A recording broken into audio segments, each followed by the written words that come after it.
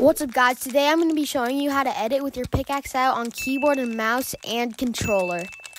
Step 1 is optimal keybinds. For keyboard, you can use binds such as side buttons on your mouse, scroll wheel on your mouse, or any button near your edit bind. And for controller, I recommend using things like left stick, right stick, or using a back paddle if you have them. Step 2 is muscle memory. To start out, you can practice pulling out your pickaxe after placing cones or floors to get the muscle memory down. Then after that, you can move on to single edits, double edits, triple edits, and even quad edits. Spending at least 20 minutes getting each one down.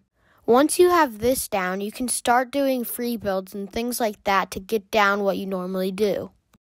Anyways, that's pretty much it for the video. So if you enjoyed and this helped you, make sure to like and subscribe. And if not, make sure to comment down below what issues you had.